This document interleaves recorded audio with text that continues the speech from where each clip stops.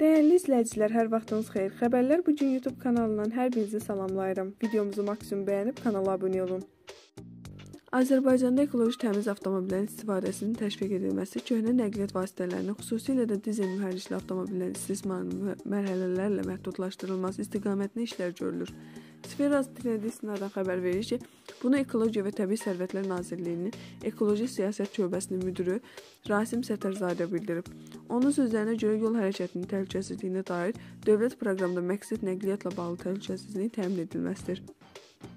Orada bir neçə istiqamət nəzərdə tutulub. Onlardan biri ətraf mühitə və insan sağlamlığına mənfi təsirin azaldılmasıdır.